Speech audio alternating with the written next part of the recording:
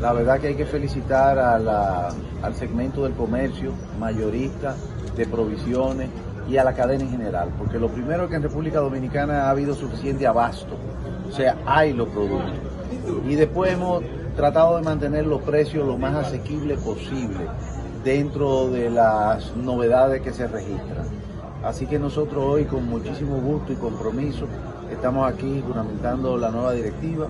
y felicitando a la directiva saliente por el acompañamiento que junto con y de la mano con el mismo presidente Luis Abinader que encabeza la mesa de abastecimiento y de precios, hemos podido, bueno, eh, tener, como le digo, una economía estable y, y abastecido